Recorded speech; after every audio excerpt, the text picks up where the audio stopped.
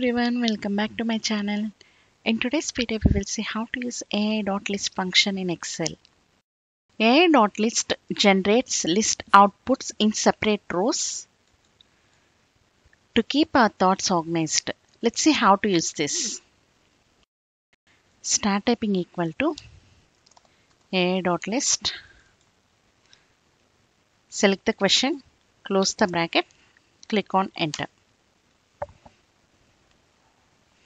Here you can see given the response as top 10 countries. In this scenario, start typing equal to AI.list. Select the question. In this question, we have not provided any value like a 10 or 5, any number. We have not provided. So in this case, here we can provide here 4 or 5. Close the bracket, click on enter.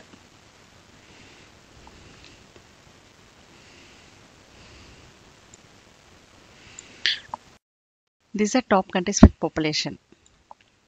The AI.list main function is to generate a list of items based upon a prompt submitted to AI.